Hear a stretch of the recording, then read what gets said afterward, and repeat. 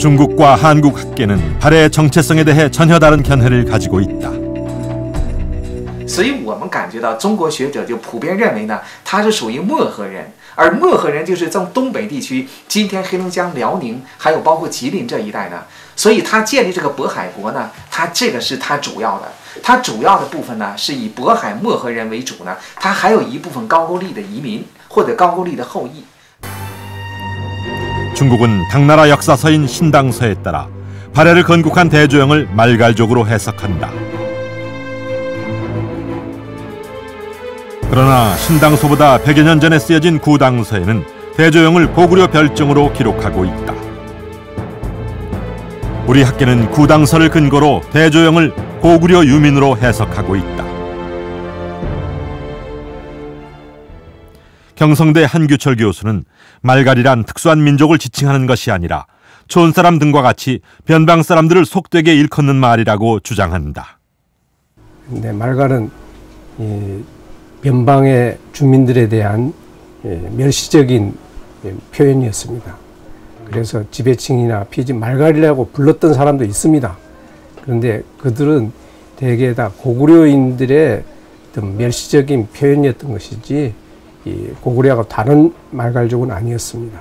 발해는 스스로 말갈이라고 호칭한 적은 없습니다. 말갈이라는 표현은 당나라에서 사용한 것이었다. 그렇다면 발해인은 스스로를 어떻게 불렀을까?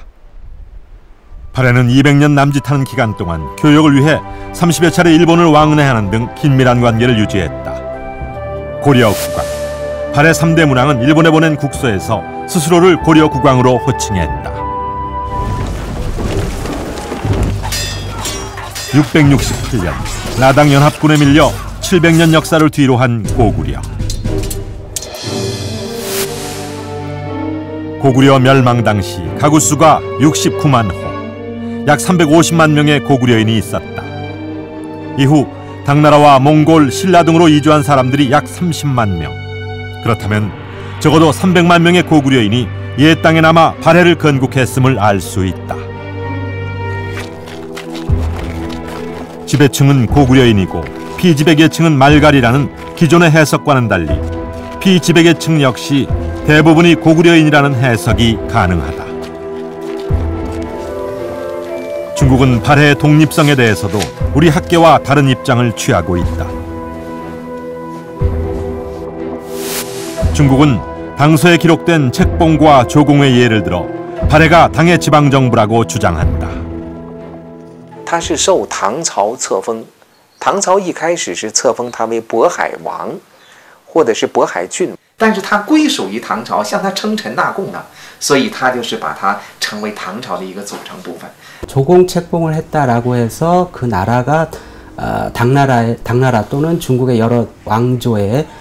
속국이었다라고 볼 근거는 없습니다.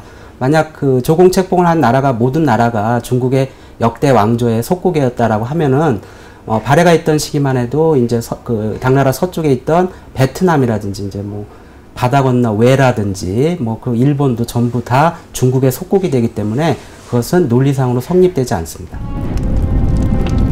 732년 발해 무왕은 등주 친공을 탄행, 삽시간에 등주 자사 위준을 죽이는 전과를 올린다. 이 발해의 자주성은 심지어는 군사적으로도 당을 공격한 사실에서도 알 수 있습니다. 육상과 해상으로 어, 군, 그 군대를 내서 발해, 이 발해가 당나라를 공격했다는 것은 그 당시 도저히 이 어떻게 보면 당나라 지방 정권을 생각할 수 없는 거죠. 중국 내 대표적인 발해 유적지 중 하나인 길림성 돈화시. 이곳에는 동쪽의 융성한 나라 해동성국 발해를 기리는 거대한 발해 기념문이 세워져 있다. 그러나 중국은 발해를 말갈족이 세운 국가이자 당의 지방 정권으로 홍보하고 있다. 발해사를 둘러싼 한중 양국의 첨예한 견해차에도 불구하고 중국의 일방적인 주장을 공식화하고 있다. 거소본 일가, 즉 발해와 당이 한 집안임을 강조하고 있다. 발해사를 중국사로 편입하려는 시도가 노골화되고 있다.